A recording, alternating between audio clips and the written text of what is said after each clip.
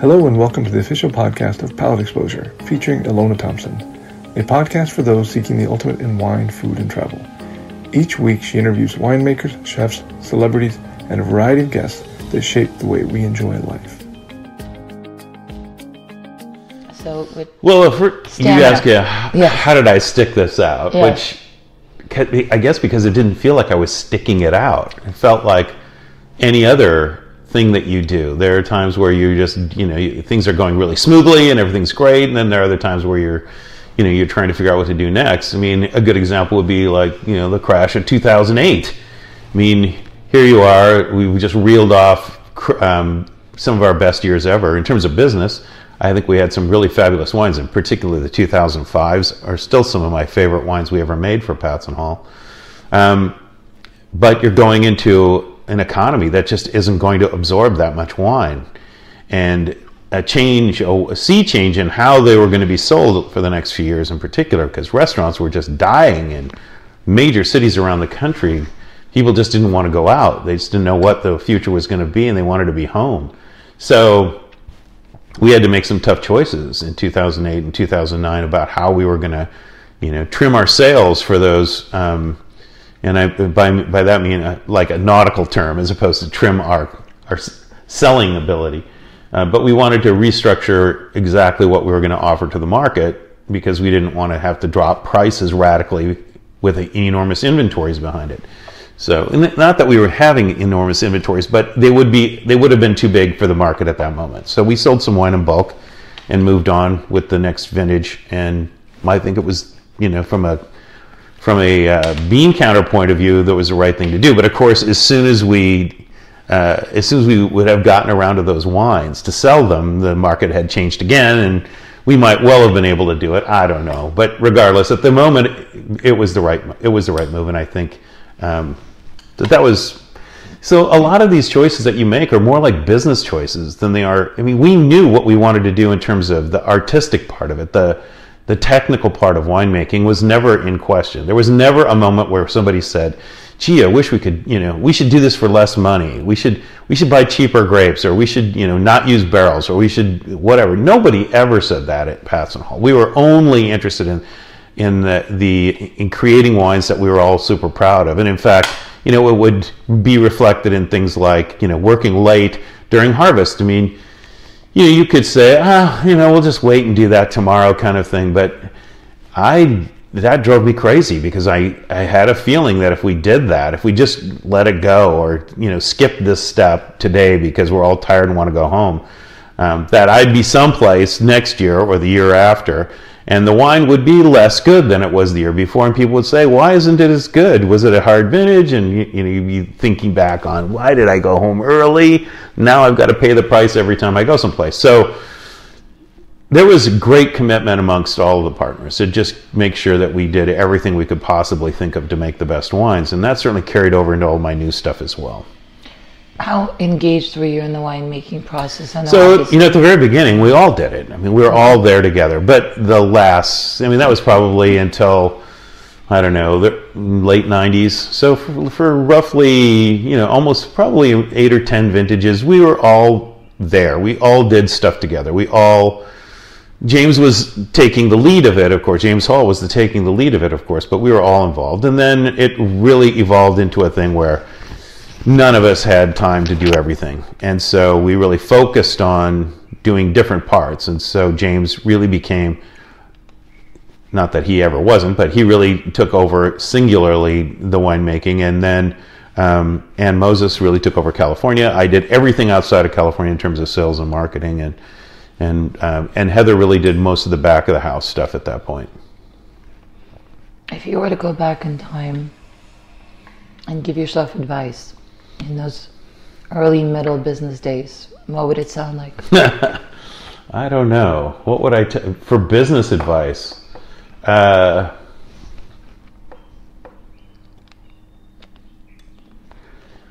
I don't know that. I mean, I kind of felt like we made, whether it was sheer luck or we actually were able to see clearly what was going on. I think we did a really good job of following along with what our customers really wanted. So it's easy to sort of just say, oh, you should only do what you believe in your own little heart, right? And to, I would say about 99% that's true. But, um, you know, if there's a point where you can still feel really good about the wine, be proud of it, and know that the wine is going to be more readily accepted in the market, you should probably think about doing that because there are two parts to this business. A lot of times people get all caught up in the in the glamour side of it, which is you know vineyards and the beauty of the place. And um, if you're not actually winemaking yourself, the idea of winemaking is it sounds so romantic and stuff, but it's it's ultimately this is a business, and unless you're a, a, billionaire, you just don't care. And I've never met a billionaire that didn't care. Um, you want to you want it to function as a real business, and and and I think that that's that's one of the things we rarely talk about in the wine industry is that there is a business element to this too, and the wines have to be acceptable. I think we should. that is a discussion I'm hoping to have continuously, and I'm very glad that you said what you just said because you're absolutely right. Um, there's that notion of romance and something very nebulous and special and alluring and the hard business reality that you were acutely aware of early on is what truly drives it internally. And I think it was a tremendous foundational part to what you eventually achieved. So for us, and, and this actually came up in discussions internally, but for us, we were we watched other people around us who had, you know, a significant amount of money backing them up, whether it was their family or something that they'd done themselves, came from another industry with you know a bunch of money to be able. But we were flying without a net, so if we stumbled at Patz and Hall at the especially in the first ten years or so, if we stumbled, we were out of business. There was you know there was no margin for error, and you you feel that acutely when you when you know that to be true. Uh, so leaving no stone unturned was really, I think, an important part. Starting off with great grapes, getting people that know what they're doing in the vineyards to work with you was really cr- critical to our success as well, I think. I think for those of you that are listening that either own business or obviously work for a business, it is such a seminal piece. The fact that attention to detail, you know, the proverbial devil in the details, was extraordinarily important. That you stayed up nights, as you described, trying to make sure that you did everything you could, everything in your power to make it happen. That you divided the duties, even though we've established James Hall as a winemaker of record. But the truth is that the few years, you know, prior to that becoming official in every sense, you were so hands-on and so involved, and that was a passion of yours. You just practiced the necessities because somebody had to do it and do it right. Well, I we had this conversation early on with Patz and Hall. I said, I told James, I said, you know, I'm not really interested in just a new project that I get to sell. I'm already doing lots of selling. I already know how to do that. It's not very interesting to me to have some new project because I can't think of anything else to sell. I'm really only interested if you know we're going to all be involved with every part of the business and um, get a chance to experience. And I think you, as James, as the winemaker, ought to experience what it's like to be out there in front of customers and have them ask you questions you're a little uncomfortable with because I think it puts things into perspective. So I want to walk vineyards. I want to, you know, fill barrels. I want to do the same kinds of stuff to make sure that I have that authority and authentic feel when I go talk to people about it as well. But that's part of the fun of it too. I mean, you don't you start one of these little projects to get rich. You start it because you really want to try doing some things a little differently and see if people like it as much as what you think you're going to like it for. And that's you know that's been the sort of driving force. I I really didn't, and I I didn't get super rich doing this, but I really wasn't doing it for the money. I was doing it because I liked sharing wine with people. I liked the feeling of being able to walk around in a vineyard and get a sense of what that place is like and how that impacted the wine that we were making.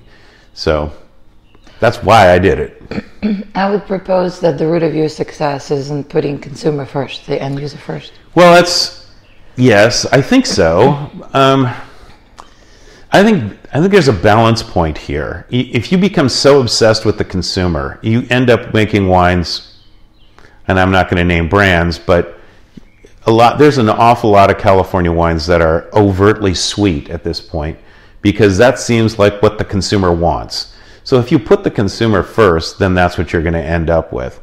Um, we I wanted to make wines that were attractive, but were maybe a little more sophisticated, and we needed people who understood wine as opposed to simply wanted a beverage that was hip and cool to drink. So, yeah, our wines were dry. I mean, they were completely dry because they were bottled without filtering them. And if you bottle a sweet wine without filtering it, you're going to end up getting re-fermentation in the bottle, which is never pretty. By putting consumer first, what I meant was not so much the palatal preferences, which, you know, are subject to interpretation and depends who you listen to, right? Um, a lot of people claim to understand, to have hands on the pulse of the consumer preferences, and I sometimes find myself questioning heavily um, their conclusions. Uh, I think what, what's really interesting to me is the fact that you've brought up several times in our discussion that you wanted to express to people what it's like to really be in the vineyard and bonding with the vines and experiencing it. You wanted that transference. You wanted to be that translator, if you will, for lack of a better term, for somebody who doesn't have the opportunity to do that. And the other piece that stood out is that it's value added inherently when you're trying to make the best wine you can. Not necessarily what you think is going to please them, but being so close to it on a daily basis, creating something that is important and that is something that's the best that you can make in that moment of time with those resources. And that to me is what honors the consumer's palate. So I'd agree with that. Um, as I was doing this, the only person I knew well was me. So I made wines that the, were the ones that sounded interesting to me and that I could then tell the story to other people and explain why I found them interesting and, and perhaps why they might find them interesting as well. So when I would write a newsletter, I would write, I would think to myself, the very first thing I would think is, okay, so what's happening right now that if I were still, you know, sitting in Minneapolis, I would want to know about?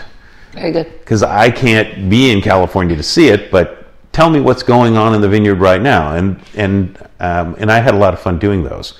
Um, eventually, I you know things change over time. I just waved my hands, and so you know the, I think our our uh, our mailing stuff changed over time as well, and probably wasn't quite as descriptive, but. But that's that's where I started from. Is what was interesting to me, and I'm pretty sure if I'm interested in it and I'll be excited enough to tell other people about it, and probably they'll find it interesting too. If they hadn't, we'd have been out of business. So, well, this is actually a testament to your very effective storytelling. Um, um, this days, and, and, I mean authentic, another word that gets used a lot, I should say abused. Um, you know, these days, everybody professes to be a storyteller because all of a sudden, in the current iteration, of the wine business, that's what's required. Um, however, there's a big difference between you actually having your hands in it and being thoughtful about it. It's the quality of the storytelling that really speaks to um, what separates good from, you know, some degree of mediocrity. And it's that storytelling that brought about Patz and Hall Rise. And I want to specifically focus on the Pinot part of it. I know you started with Chardonnay, but um, you've referenced a couple of brands. Um, one of them was Kistler, which really was the major player once upon a time, pre Sideways, pre Pinot explosion.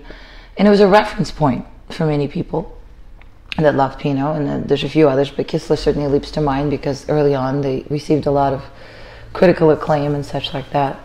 Um, but there was relatively few people in the marketplace that were compatible qualitatively to Kistler. There was just a handful. And you started building your Pinot brand, I feel like very deliberately because your fruit sources spoke to that. What, what was what was the beginning of it in addition to making um, what you described at as marketing decision that there was a hole in the marketplace that you could you could be making cab and be one off. But you wanted to pursue Pinot. But you not only pursued it, you pursued it from Don Patz's and James Hall point of view. Tell us about that. Well, the big challenge for us was to find a grape, a grape source that we were happy with. And uh, I mean, we would have probably started doing Pinot Noir, you know, three or four years earlier. It's just we weren't coming up with grapes that we liked. And we all had real jobs at this point, too. And it was until 1995 that I started doing Patz and Hall full time. Mm-hmm. Um, and then probably three or four years later, maybe, um, everyone else finally flipped over and was doing Patz and Hall full time as well. So it had to be, you know, it had to fit in amongst other things that we had to do. And we were equally engaged with um, our other jobs and had, had to be. Otherwise, you know, you wouldn't have them anymore. So finding the grape sources was, was a real challenge. We were able to find a source of Pinot Noir uh, in 1995 uh, right along the uh, Russian River on West Side Road. We don't buy the grapes anymore. Hadn't for a long time, but but Patz and Hall, James Hall, I'm pretty sure is the one who came up with these grapes, and uh, and that sort of got our foot in the door. Once we were able to make Russian River Pinot on the label, then um, we were able to uh, start moving around and talking to other people in the in the in the area it's funny because you know, like 1995, so early 1996, I started um, calling vineyards that we were interested in working with, and there's this uh, thing. I'm not sure if it's still available or not, but the, at the time there was a publication that the um, Sonoma grape growers did called the Purple Book, and it listed all of their members, phone numbers, what they grew, as long as they gave the information. You know, there was a phone number, there was a fax number sometimes. This is pre-email, so um, it was interesting. So that summer of '96, or spring and summer, I was calling all of these guys up and asking if they had fruit because I want we wanted to expand the the Pinot program that we'd started in '95, and we weren't really getting very far um, because this is what I would run into I'd get the guy on the phone and I'd say, you know, do you have um, do you have any Chardonnay and or especially Pinot Noir available? And the response would be, where are you? And I'd say, well, we're currently making our wines um, in Rutherford at Honig Cellars because, you know, winemaker is the winemaker for Honig as well. But we're focused on doing, um, in particular, we want to do Russian River Pinot Noir their response was, "We only sell wines to, we only sell wines to Sonoma County wineries," and I would hear that over and over again. Uh, but because we finally found one source of Pinot that we were able to buy some grapes from, we were allowed then to be a sort of an auxiliary member of the Russian River uh, Grape Growers Association, and then we went to a couple of their social events and suddenly now we're meeting all the growers right? They're all there having a picnic or something and we're walking around and talking with a couple of our friends that we see there and the next thing you know they're introducing us to new people. They're saying hey by the way do you know tom over here who who grows grapes? And uh, maybe he's got some for you. Here tom. Here's donald and and james. Um, from Patz and Hall. And uh, it, that was the key that was the key turning point for pinot is we went from sort of outsiders who live over in Napa on the wrong side of the valley for for grapes from Sonoma, and then suddenly we became kind of almost insiders, even though for a long time after that we were still all holed up in Napa. And I think we really felt like um, we wanted to follow the newest plantings, and the reason was because there were so many new clones becoming available. So we wanted to be able to get especially the Dijon Clone Pinot um, early on because we felt that there was a quality gap between a lot of the stuff that had been planted in the past, which is really an, another economic thing. I mean, they had to grow enough tons per acre in order to make it worthwhile because nobody was paying them anything for Pinot until probably a little bit before Sideways, but Sideways certainly drove it. So we we we spent a lot of time looking for grapes. In fact, for several years, I had all of my marketing stuff geared towards growers. I knew I was going to be able to sell the wine. We weren't making all that much of it. A couple thousand cases of wine a year wasn't that hard to sell. At that moment in time, there was a lot of demand for California wines across the board, not as many brands. So I'll, we'd release the wine, it would go out fairly smoothly but I was having trouble finding additional grape sources. And all James I know was looking, I was looking, we were rattling cages trying to find fruit. And slowly but surely, we uh, found our way into, I think, some of the best sites in California. You know, from Mendocino at Alder Springs Vineyard, all the way down to Pisoni Vineyard in the Santa Lucia Highlands, and primarily in Sonoma, but also Carneros, part of Napa for Pinot. Um, and style of winemaking is a little different too. I mean, and I think I've said this before at places. I think the biggest challenge, one of the biggest chal- challenges for making Pinot Noir in California early on was, well, a lot of times the grapes weren't being grown in the right spot. But even if you found the grapes in the right spot, the biggest challenge was winemakers had already had success with Cabernet. The reason that's a problem is because you cannot make Pinot Noir like Cabernet and be successful. It just doesn't taste right. It doesn't taste like Pinot Noir. It's not very attractive. It just tastes like sort of an average red wine. And so you have to apply a different set of techniques. Success with Cabernet told the winemakers from the in the 70s and early 80s that they are geniuses at making wine. And so whatever they were doing with Cabernet should immediately make genius Pinot Noir. And it took, I think, a long time. I'm pretty sure there were people that knew this at the beginning. Like it's not something that I was the only one who figured out, or James Hall and I, or or you know a handful of people. I think a lot of people kind of understood that there was a problem. We weren't making fabulous Pinot. There's no reason why we shouldn't be. The climates and soils should be uh, as good for Pinot Noir as it is for any other grape. So what's the problem? And I think finally we started to get a grip on it, and I think that it's going to continue to improve too. It's not like we've found the holy grail yet, but I, I think the big problem was techniques. We weren't using any whole cluster. We weren't um, we weren't doing pre-soaks or post-fermentation stuff that uh, uh, excuse me extended macerations. Um, and there were differences in temperatures as well. So there's all kinds of stuff that you can do that uh, that, that is not necessarily strictly a manipulation thing, but simple, fairly straightforward things that are different from Cabernet uh, to, to Pinot Noir that can make a more interesting wine. And when, as a group, all of the people that were fascinated with Pinot Noir began to move that direction, I think things really started to happen for Pinot. But the biggest change was planting new places and then learning how to make it it certainly became quite a vibrant scene, and he made some um, really interesting comments about cellar work. I just want to highlight the vineyard part of it. You're describing early on farmers that farmed for yields. And that's what they're used to. Well, had to. Yeah, I mean, they weren't being paid that yeah, much, absolutely. right? And so, and this is true for every variety. I mean, right. we we saw one guy, a really nice guy that we never bought grapes from because we're walking along his vineyard and he's saying, Yes, I can consistently get 10 tons per acre ripe here. And I thought, Yeah, but what do they taste like? I mean, 10. James Hall and I were looking at each other in the vineyard and thinking, How fast can we get out of here? Because this isn't going to work for what we want to do. How influential were you in turning the farmers' heads around and maybe incentivizing them down the line in growing wine as opposed to grapes?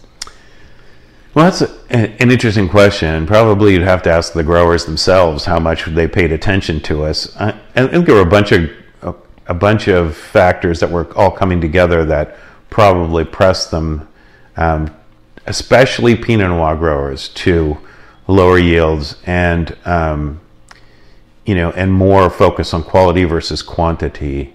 Um, in order to be able to get there, they had to be able to get more money per ton. And so yeah. somebody had to be willing to start there. I think we were probably eager to spend more money on grapes than maybe some of the some of our other friends because you know we were trying to break into a club that was tough to get into. Uh, and so price was going to make a, a, difference to that. I if you have to drive all the way over to Napa with your fruit, then just an ironic statement because it's not that far. But you know, for them, it was like, wow, do I really have to go to that other valley? Then it's got to be, you have to make it worthwhile. And, you know, we came up with some ideas, but it, I don't think we were, I don't think we were unique in this. You know, I think it, it's really important to keep in mind that as somebody who's been, who's walked through it, that it wasn't just us. There were other people, we couldn't have done it. Patz and Hall could not have done this all by itself there had to be a whole bunch of people all rowing in the same direction about Pinot Noir, or we would have just been, you know, this little voice in the wilderness.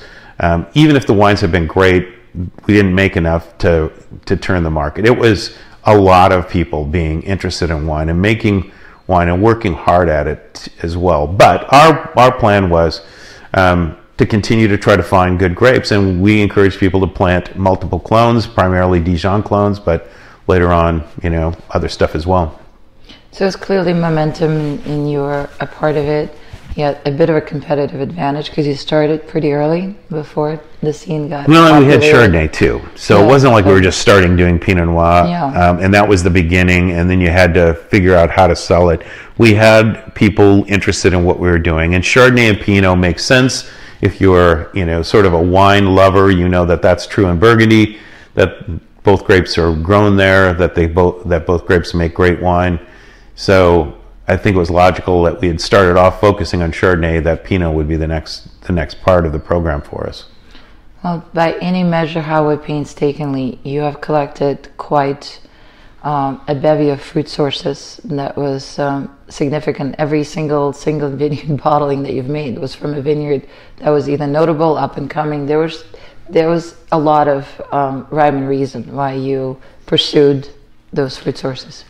We well, we certainly got grapes from a, a number of sites that never made single vineyard designate wines either. I mean, mm-hmm. I think it was really important to have a program that was set up so that we had a place for grapes to go if they weren't going to make the quality we were looking for for single vineyard designates. But we're good. So the wine can be good and fit into a blend and be a really happy member of that blend. So the the originally was Russian River and then it became Sonoma Coast Pinot blend was was kind of critical to being able to make the number of different single vineyard wines, even though you know we were far afield. There was no place for extra Pisoni to go, for example, because that's Santa Lucia Highlands.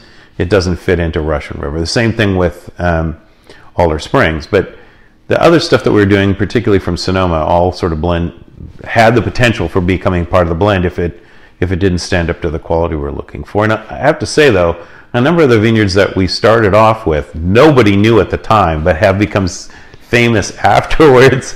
So uh, I think that we certainly had something to do with with that. Again, it wasn't just us, but there were other people working it the same way. Uh, but I think that uh, they became famous because they were growing great grapes and had a number of people making really fabulous wines from them. Well, there's certainly uh, an argument that could be made about the branding that you brought to the table. Well, there's a you know a famous grape grower in the Napa Valley, Andy Beckstoffer, whose plan is to base the price of his grapes off from what you're going to sell the bottle of wine for on a retail basis. It's a little bit more complicated now, and Andy is a highly respected guy in the wine industry and um, and, and grows some fabulous fruit. But uh, we had a conversation. I specifically sat across the table from Andy um, one afternoon at my house in St. Helena, and he came over and wanted to talk to me about possibly continuing. We bought some grapes one year from him, continuing to buy grapes, and he was insistent that um, he wanted to know what the retail price of the wine was going to be so he could base his pricing on the grapes off that. And I said, So let me get this straight, Andy. You have two blocks side by side. Essentially, you're going to farm them exactly the same. You've already told me that, you know, that you guys are great growers and, and the impact uh, that we might be able to make in suggestions on the vineyards isn't going to really isn't going to work for you. So you're going to grow these grapes exactly the same way. One guy is going to put it into a $18 bottle of Chardonnay, and you're going to charge him 18 $100 per ton. Ours is going into a $30 bottle, so we have to pay $3,000 a ton for exactly the same fruit. The conclusion of this interview can be found in the next podcast, already available for your download. Thanks again for tuning in to the official podcast of Palate Exposure, featuring Ilona Thompson.